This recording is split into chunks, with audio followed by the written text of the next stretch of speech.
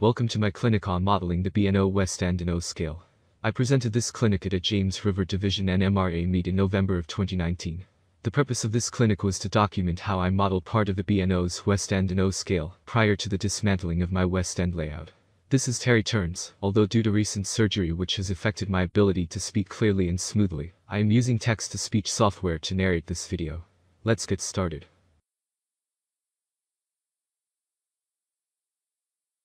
What are we going to discuss today? First, I'll give some background in how I came to model in 2 rail O scale. Then, I'll speak to how I decided on the B&O and the West End in particular. We come upon the most important theme of this clinic. Can you accurately model a specific railroad, time, place and traffic patterns in 2 rail O scale without scratch building everything? How I designed a track plan to fit my basement and the models to represent that prototype comes next. Finally, and sadly, is this the end of the line for my railroad? Like most people my age, I started my model railroading journey with a Lionel train set.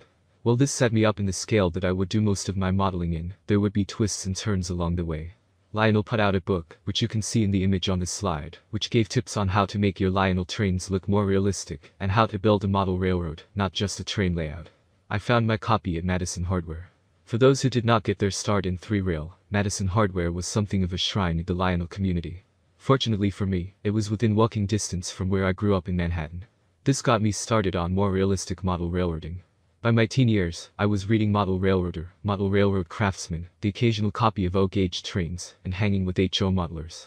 The third rail and tubular track were annoying, but not enough to get me to jump to the smaller scale. By the early 1980s, Lionel had fallen on hard times. Lionel had been through several corporate owners, quality was poor, prototype fidelity was non-existent. The price of collectible, post-war Lionel was nearly equivalent to two rail O-scale brass. With Lionel, apparently, not long for the world, I made the jump into O-scale 2 rail.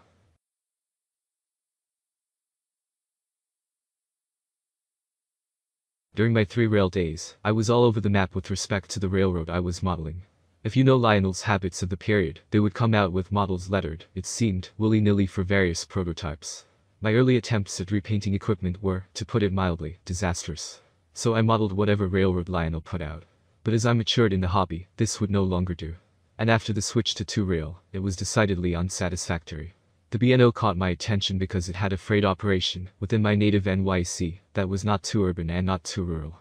So, I planned on modeling the Staten Island Rapid Transit, the B&O subsidiary on Staten Island. Then, one Christmas, I asked for and received a copy of Robert's volume on the B&O's West End in Maryland and West Virginia.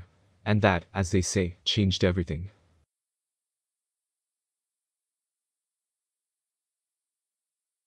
Anytime that you are going to model the prototype, you know that compromises will have to be made. You just hope that the pluses outnumber the minuses. The B&O's West End stretched from Cumberland, Maryland to Grafton, West Virginia, and included B&O's crossing of the Allegheny Mountains. This was on the main stem of the B&O from the opening of the railroad until the route to Chicago was opened via Pittsburgh over Sandpatch Grade. This was big-time mountain railroading for most of the line's existence. The area that the West End passes through is little changed from the days when the railroad pushed westward. It's surprising to think that an area, as near as 150 miles from the nation's capital, can be as undeveloped and as devoid of roads as the west end of the B&O. Because of this remoteness, the west end is infrequently modeled in any scale. But what makes the west end modelgenic? The west end has very little tangent, that is, straight, track and very steep grades. Both of these conditions are frequent occurrences on model railroads. In fact, during the construction of my model railroad, I added S-curves along two sides of the basement to more accurately simulate conditions on the west end. Most all of the west end is double-tracked, with triple track in many locations. If you are an adherent of John Armstrong, the Dean of Track Planning, double tracking makes for a better model railroad, especially one for a small to medium space. It was nice of the prototype to be so accommodating. Another consequence of the remoteness and lack of development means that there are very few online industries on the West End, even the ubiquitous coal mines are, with only a couple of exceptions, off of the main line. This is both a blessing and a curse. It's a curse because a model railroad that accurately models the West End will have little or no switching. It's a blessing because industries, and the track work to reach them, do not have to be constructed. This will be a through route model railroad. Coal was, and is, king on the West End although for most of its heyday there was mixed freight and passenger trains aplenty. Because of the open-top coal hoppers, traffic has to be strict loads east, empties west pattern.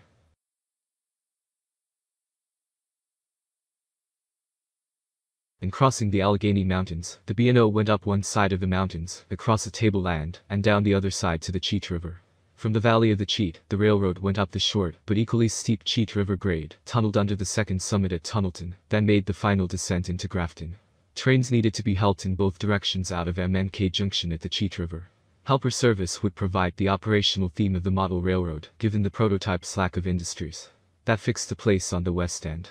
M&K Junction with the three-track Cranberry grade to the east, and the two-track Cheat River grade leading to the west. M&K Junction was a helper station with a four-track mainline coaling station, large steel water tank, sand house plus ash pits, an engine house, a large yard tower, etc., enough to keep a modeler busy. And speaking of helpers, in 1949 seven sets of eight BBAF-7 diesels took over helper duties at M&K Junction, leading to another happy anomaly for modelers. Steam is the road power and diesels as the helpers. However, the diesels were so successful that by March 1952, all steam was gone at M&K. That fixes our place in time. M&K Junction, 1949 to 1952, the steam to diesel transition.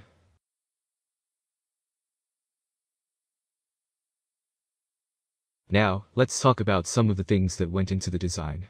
Although my basement only scaled out to be a medium space for the curvature I plan to use, based on the classes of steam that I would have to run, I wanted to avoid both a bowl of spaghetti track plan, as well as a double-deck design.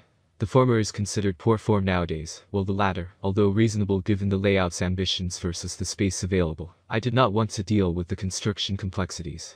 Therefore, once through each scene, scenically sincere would be the rule. Helper service out of M&K up the two-track Cheat River and three-track Cranberry grades would be featured. The Morgantown and Kingwood branch line, which met the B&O main at M&K, would not be present. Not even by a dummy track. Because you cannot fake loads and empties with open-top hoppers, the design would have to be continuous operation. Loads east, empties west.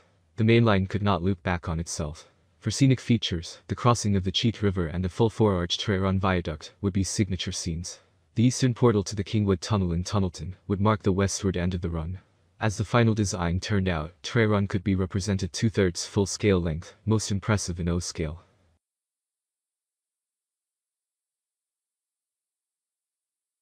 We've gone through how I developed the specific railroad, place and time, that I wanted to model. Could it be done in O-scale without having to scratch build everything? I'm here to dispel one of the major myths of O-scale. We've given ourselves the best chance by confining our ambitions to a tractable place and time.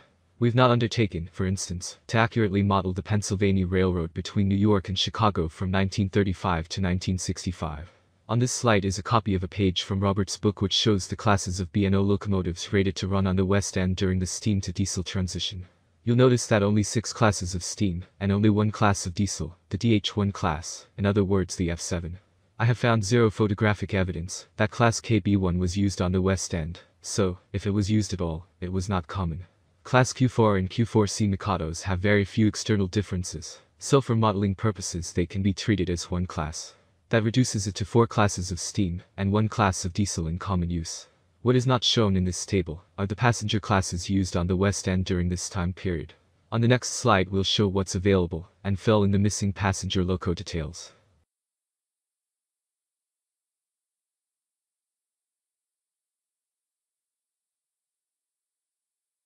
Here are all of the classes of locomotives used on the West End in the 1949 to 1952 timeframe. Notes to the table. Where two manufacturers are separated by a slash, it means that the model passed from one manufacturer importer to the next, usually with little to no change. Three rail models, which can be converted to two rail, are designated with an asterisk. USH equals US Hobbies, MG equals Max Gray, MTH equals Mike's Train House. Let's begin with the freight locos in the first group. All of these locos have been available, with the exception of the EL5A, and usually by more than one manufacturer. Even the EL5A could be bashed from a USR A2 to 882, which was imported years ago. Amputating the trailing truck and changing other minor details might make an acceptable model. Your mileage may vary. The MTH model of the F7 is easily converted by dropping in MTH2 rail wheelsets, even the electronics are DCC compatible. The passenger power is shown in the next group of the slide. The P7 Streamlined was used on the Cincinnatian for only a few years. It was imported by Weaver. The only major class of passenger loco omitted from the table is the Class P1 Pacific. It was only omitted due to space constraints. No model of the B&O P1 in O scale has been imported, to this author's knowledge. In the final group in the table are some O scale locos that would not strain credibility to use on a West End layout. While not common on the West End, it's likely that some of these locos would be sent east or west at the head of a train, rather than as a light engine move. Under this rubric, I have both a P5 and a Q3 that I use on my layout. You'll notice that I use the past tense term, was, rather freely. Some of these manufacturers and porters are no longer in business, for example US Hobbies or Max Gray. However, it does not take much hunting of online forums, online auctions or O-scale swap meets to find these locos, often new and unused. Even the importers who are still in business, for instance Sunset or Oriental, imported these locos as limited runs. This is no different than the other scales. Again, the same search tactics will turn up these models, almost certainly unused.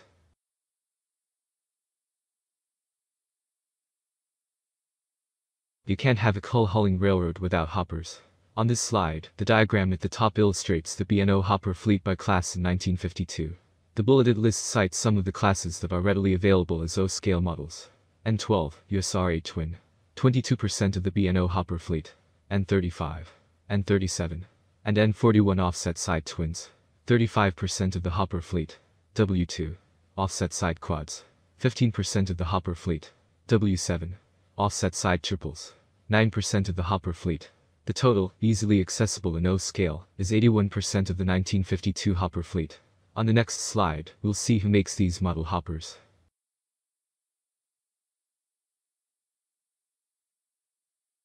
This slide illustrates the manufacturers who make hoppers suitable for the B&O's 1952 fleet. Notes to the table. Where two manufacturers are separated by a slash, it means that the model passed from one manufacturer importer to the next, usually with little to no change. Three-rail models, which can be converted to two-rail, are designated with an asterisk. USH equals US Hobbies, MG equals Max Gray, PSC equals Precision Scale Company. As you can see, all of the classes of B&O hoppers are available from many manufacturers in kit or built-up form. Many are three-rail conversions. This is a good place to turn aside and talk about three-rail conversions. For more than the last two decades, the three-rail market has demanded scale-sized and scale-detailed models. Some manufacturers have dedicated scale lines, like MTH's Premier line. Others differentiate by labeling their older, toy-like lines, traditional or conventional. Many of the three-rail hoppers are die-cast, following in the footsteps of Lionel's die-cast, pre-war, offset quad. Do not scoff at modern die-cast, it can be exquisitely detailed. For instance, my diecast Lionel N35 twin hoppers are better than any brass models that I have, with details like see-through brake platforms. In fact, I prefer mine to brass since I do not have to treat them gingerly. The photo on this slide shows 2K line offset quads that I converted. The process is simple. Two rail wheel sets are used in the three rail trucks. The three rail couplers are cut off with a Dremel. Two rail Kadee couplers bolt onto pre-drilled holes. K-Line even provided the screws and coupler shins with the three rail car. The car on the left is as converted. The car on the right has been converted and weathered. The weathered car will not win any contests. But it certainly passes the three-foot test. Whether die-cast, plastic, or brass, B&O hoppers are readily available in O-scale. As was said in the slide for locomotives, some of these manufacturers are out of business. However, the same search techniques will turn up the models that you need. Even better, since models like the Weaver cars were mass-produced.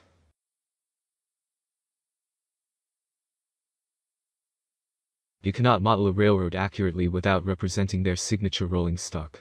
During the steam and transition eras, and before the rise of the mass car builders, many railroads built their own freight cars, either as experiments or as entire fleets.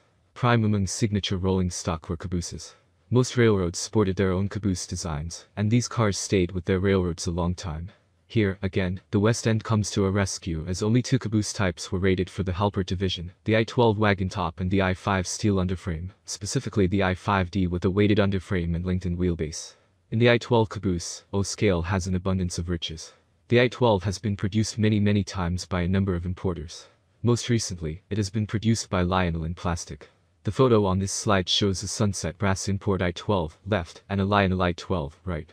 The Lionel has some easily corrected out of scale elements, like the stack. But otherwise it's dimensionally and detail correct, an excellent model. The most annoying thing about the Lionel I-12 is that, like some three-rail rolling stock, it sits high to accommodate the oversized three-rail flanges.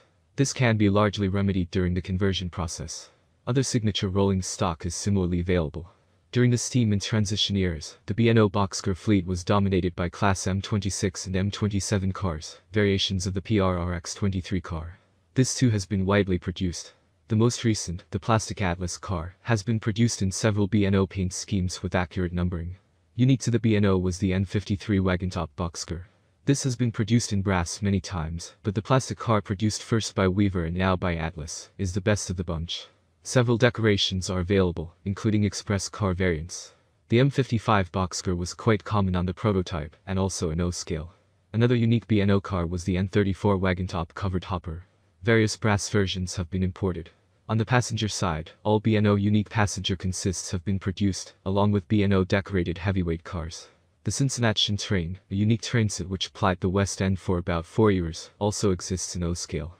Do not be deterred by some of these cars being only available as brass imports.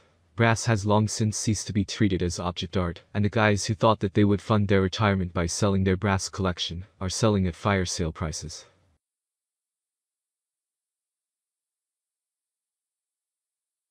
With all of the elements that we need to know in place, we can discuss designing the track plan. Of course, when I actually designed the plan, I had to take educated guesses at what some of the design parameters would be. I wanted a minimum mainline radius of 62 inches, 2 inches more than the manufacturer's stated minimum for the EM1 2884 model. I did my track planning in 3rd PlanIt, and during construction, all dimensions were accurate to less than an inch. The diagram on this slide shows the track plan that I settled on. The outline of the basement and the major obstructions are in red. Water heater and well pressure tank in the lower left. The inverted L shape are the basement stairs. The rectangle is an HVAC unit, and the small circles are Lally columns. M&K Junction Helper Station is at the bottom, with the two-track Cheat River grade, left, and the three-track Cranberry grade, right. No, the track indicated in M&K Junction is not how it was built, adjustments were made during construction. Elsewhere the mainline track plan was pretty much adhered to. The crossing of the Cheat River takes place opposite the bottom of the stairs, which makes this signature scene the first thing one sees on entering the train room continuing up the Cheat River grade. The tracks pass through the site of the town of Rowlesburg, West Virginia. Further along, as the track passes the Lally column, that six-foot straightaway is the site of the Tray Run Viaduct, where scenery will extend almost to the floor.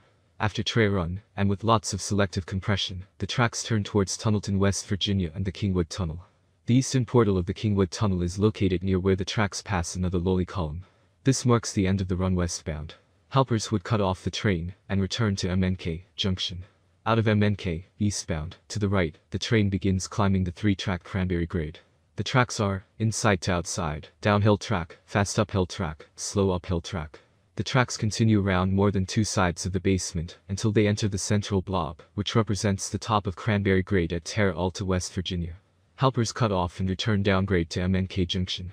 And speaking of the central blob, you cannot see it from the 3rd PlanIt drawing, but it's a two-track, two-turn helix. It functions as serial train storage. Westbound trains enter the lower level of the helix through the eastern portal of the Kingwood Tunnel. They then proceed up through the helix in turn, to emerge at Terra Alta as westbounds.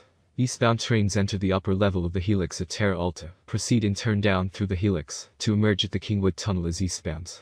In this way westbound empty hoppers stay headed west and eastbound loads re-emerge heading east. The helix can hold at least two trains in each direction. By the way, on the prototype helpers, even steam helpers, would push in either direction, even facing backwards, because there were no turning facilities at M&K. I've duplicated that operation on the model. It's shocking at first to some of the operators, but it works. The grades on Cheat and Cranberry are 2%, stiffening to 2.75% at the last curve into Terra Alta. That's somewhat less than on the prototype. The prototype could only haul 2 to 2.5 loaded cars per powered axle. I've found that the model is the same. You can't beat physics.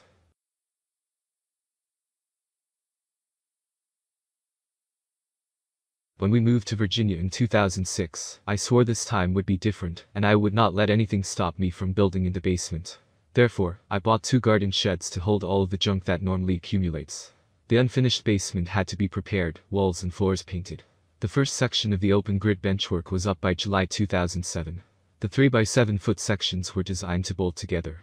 It was not designed to be modular or even sectional, as track was laid continuously between sections. But it would facilitate disassembly in the event of a move. The layout is predominantly Atlas FlexTrack, although every brand of O-scale flex and sectional track was used, even some legacy products. Roadbed is two-layer, cork over camper tape. After two or three sections were up and some track was laid, I bought an MRC Command 2000 system to check out DCC operation. I decided that I liked this DCC stuff, and thereafter I installed a Lenz system, and I now operate with JMRI tied to the Lenz system. Backdrops went up in 2014, and the main line was completed in 2015. Why so slow? I did not retire until midway through 2016.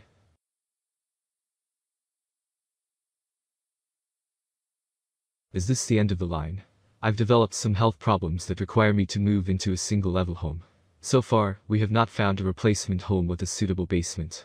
Given how the layout was tightly designed around a theme, it would be very difficult to modify, basically compress, the track plan. What is in the future? Another basement home for M&K. The custom built out building. Or abandonment and building another layout.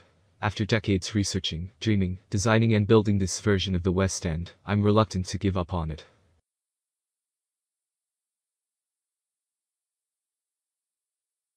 Thank you for watching this video to the end. If you have any more questions about my layout, the West End, or O-Scale in general, please ask them via the comments. I'll be sure to answer.